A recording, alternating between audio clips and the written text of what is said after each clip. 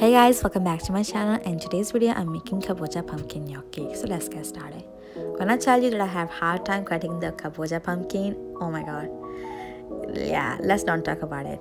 But all I did was to cut the kabocha pumpkin into pieces and then I boiled it and then I mashed it and then I add the flour in it, the egg, and then I made it a dough. After you made a dough, you have to cut into pieces and then roll it and make gnocchi like this or whatever shape gnocchi you like it and then all you have to do is to boil the gnocchi into the water and when they come to the surface they are ready. So all you have to do is to prepare the sauce. So in a pan i added some olive oil some cumin seed and added this tomato sauce and some seasoning so salt pepper some oregano and a pinch of nutmeg and and of course mix everything together and voila you have your pumpkin gnocchi. They are really yummy and really good. I hope you guys like this video. See you next time. For more please subscribe. Bye